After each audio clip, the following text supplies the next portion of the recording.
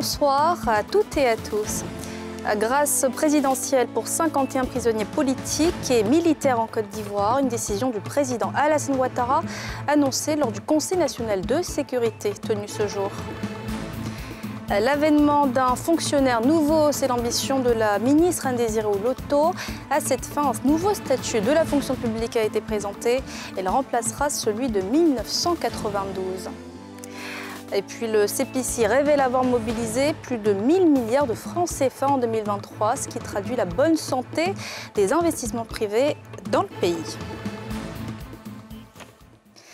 Un conseil national de sécurité a été présidé ce jeudi par le chef de l'État Alassane Ouattara. Au cours de ce conseil, la grâce présidentielle de 51 prisonniers politiques et militaires, dont Dogbo Blé et Soul Toussoul, a été annoncée. On fait le point dans ce reportage de Pierre Dipomélin.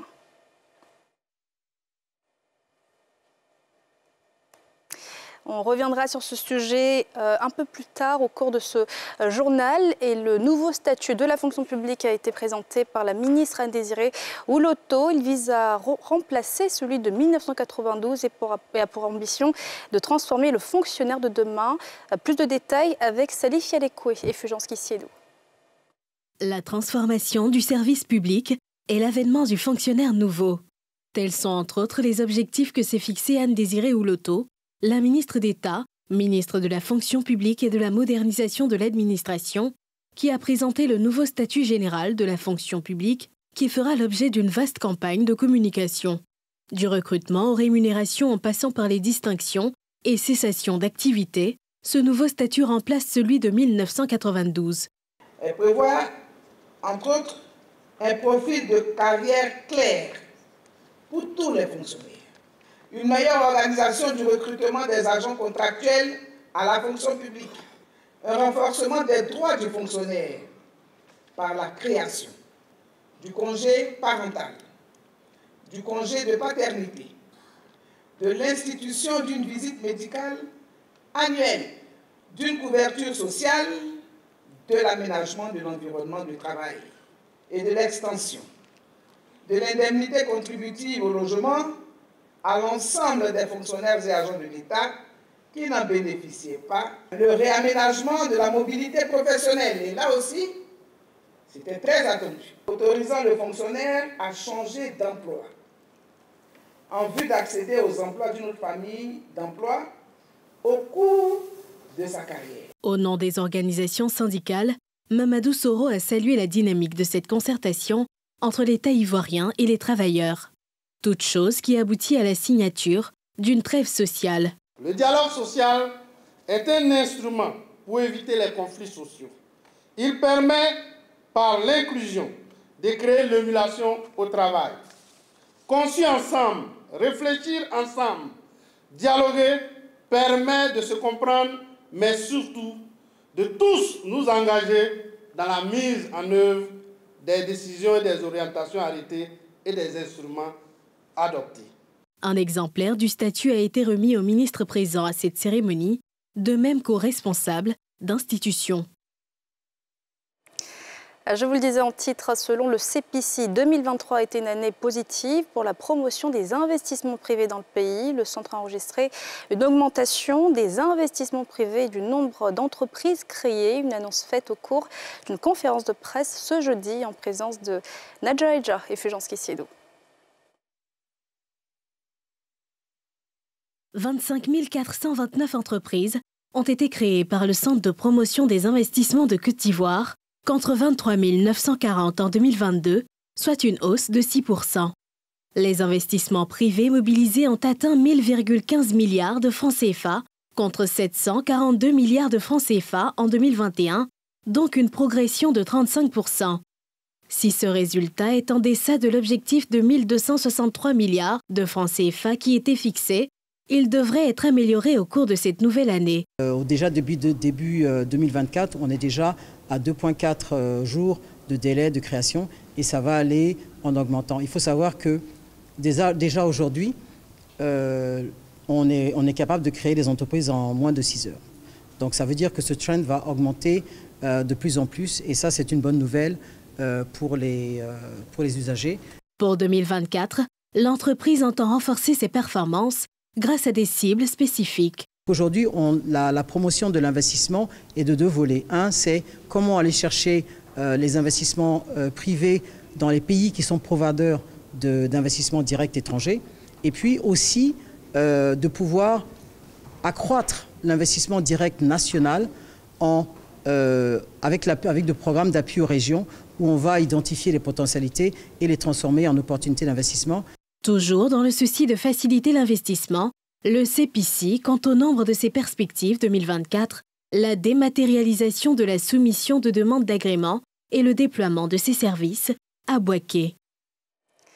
Le programme d'investissement public 2025-2027 sera disponible dès le mois prochain. Le lancement officiel de son élaboration a eu lieu à la Maison de l'entreprise au Plateau avec la participation des parties prenantes. Timé Danger, Tanguy. Acteur du ministère de l'économie, du plein et du développement et partenaire des structures techniques et ministères sectoriels, impliqués dans l'élaboration du PIP, Programme des investissements publics, prépare le processus de la période 2025-2027. La Tribune, un atelier de lancement du processus du PIP 2025-2027, qui doit être disponible en mars prochain. Avant les travaux, sont énoncés enjeux et attentes de la rencontre dans le thème central est mise en service de la nouvelle version du système intégré d'analyse, de programmation et de suivi-évaluation des projets d'investissement public, un système moderne pour une approche plus intégrée et cohérente des acteurs de la chaîne de gestion des projets d'investissement public.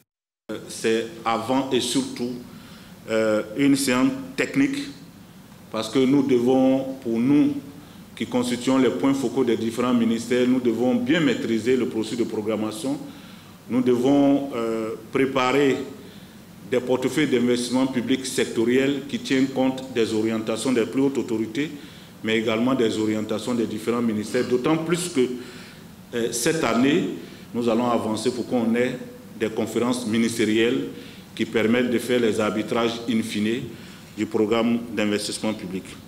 Il s'agit cette année du PIP 2025-2027 qui s'inscrit dans la préparation du budget de l'État au titre de l'exercice 2025.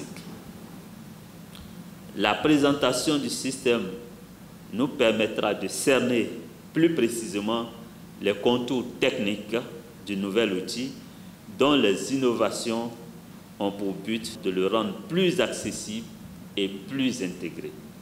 Plusieurs panels, animés par des experts du ministère en charge du plein et du développement et des entités sectorielles, ont meublé cette rencontre qui marque le lancement officiel du PIP 2025-2027, un programme dont les innovations sont désormais connues de toutes les parties prenantes.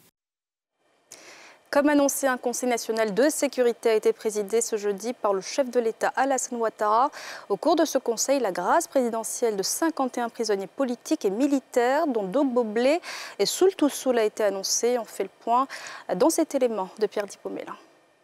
Les prisonniers de la crise post-électorale, ceux condamnés pour atteinte à la sûreté de l'État et crimes de sang, rentrent en famille après la grâce présidentielle annoncée par le CNS, le Conseil national de sécurité, qui s'est réuni sous la houlette du président de la République, Alassane Ouattara. Sont concernés par cette mesure de grâce 51 personnes civiles et militaires. Au nombre de ces détenus figure le général Dogoblé, ancien patron de la garde républicaine sous le régime de Laurent Gbagbo, et Kamaraté Souleymane Kone, dit Soul Toussoul, bras droit de Soro Guillaume. Le président de la République, conformément à son engagement d'œuvrer résolument à la consolidation de la paix dans notre pays, a informé le Conseil national de sécurité de sa décision d'accorder la grâce présidentielle à des personnes civiles et militaires condamnées pour des infractions commises lors des crises post-électorales et pour atteinte à la sûreté de l'État. La liste complète des bénéficiaires de cette mesure de grâce, au nombre de 51, est annexée au présent communiqué. Parmi ces personnes figurent notamment M. Dogo Blé Bruno, M. Nyatoa Kate Paulin, M. Kate Kwame Jean-Baptiste et M. Kone Kamarate Suleiman. En outre, le président de la République a instruit le garde des Sceaux, ministre de la Justice et des Droits de l'Homme, en vue de prendre les dispositions appropriées auprès du parquet concernant les mises en liberté provisoire de six personnes en détention préventive dans le cadre des procédures liées aux infractions ci-dessus mentionnées. Par ailleurs, le chef de l'État a une pensée pour les victimes ainsi que leurs familles et leur témoigne à nouveau sa compassion et son soutien. Cette mesure de grâce du président Alassane Ouattara vise à consolider la dynamique de paix, de cohésion et d'unité en cours dans le pays après le sursaut national et le patriotisme suscité par la victoire des éléphants à la 34e édition de la Coupe d'Afrique des Nations. Le chef de l'État s'est d'ailleurs réjoui lors de ce Conseil national de sécurité du succès de l'organisation de la Cannes, dite de l'hospitalité, ainsi que de la situation sécuritaire générale du pays, jugée satisfaisante. L'Assemblée des régions et districts de Côte d'Ivoire, RDCI, a procédé ce jeudi au lancement de sa nouvelle mandature 2023-2028. Échange de vœux et de présents, bilan des précédentes mandatures et perspectives pour les cinq années à venir étaient au menu de cette rencontre, comme nous le précisent Mardoché Kwasi et Joseph Zécré dans ce reportage. L'Assemblée des districts et régions de Côte d'Ivoire à RDCI enregistre 12 nouveaux présidents de conseils régionaux, élus lors du scrutin de septembre 2023 et les deux nouveaux ministres-gouverneurs de district, nommés récemment. Ils ont été accueillis lors de cette rencontre inaugurale de la nouvelle mandature 2023-2028.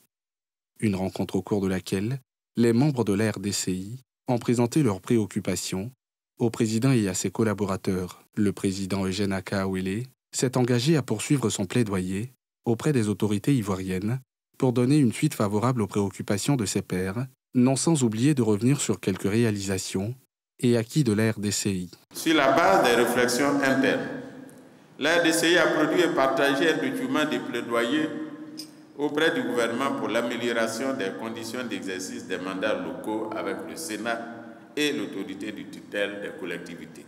Par ailleurs, il est à noter un renforcement du statut des collectivités territoriales inscrit dans la Constitution au plan social en plus de l'élan de solidarité manifesté de façon systématique par tous les élus membres dans les cas sociaux, la fêtière a mis en place un régime d'assurance maladie autofinancé au profit des élus et du personnel territorial. Les présidents de région et ministres-gouverneurs de district, eux, se sont engagés à poursuivre leurs efforts pour le bien-être de leurs administrés. La RDCI entre aujourd'hui dans une nouvelle mandature et au cours de ces cinq ans, il nous appartiendra d'être de bons partenaires de l'État de Côte d'Ivoire de manière à tirer le maximum possible vers nos régions. Il importe donc que nous nous inscrivions dans la vision du président de la République qui promeut une Côte d'Ivoire euh, au service des populations pour le bien-être de nos concitoyens. La décentralisation a commencé il y a de cela quelques années. C'est un processus qui évolue et nous estimons qu'il y a encore des, pas importants à faire dans le transfert des compétences et donc la mise à disposition des collectivités de moyens euh, conséquents pour pouvoir faire le travail que le président de la République nous euh, confie. La RDCI a pour principale mission, entre autres, d'accompagner les collectivités et entités décentralisées membres dans la réalisation des objectifs de développement tels que fixés dans le cadre de la décentralisation par la loi n° 2003-208 du 16 juillet 2003 portant transfert et répartition des compétences de l'État aux collectivités territoriales. Et le ministère de l'Éducation nationale et de l'alphabétisation a procédé aussi ce jeudi au lancement national des journées carrières, une onzième édition qui abordait notamment la contribution du sport dans l'insertion socio-professionnelle des jeunes, comme nous le montrent Moussa Nikema et Kimou Eric dans ce reportage.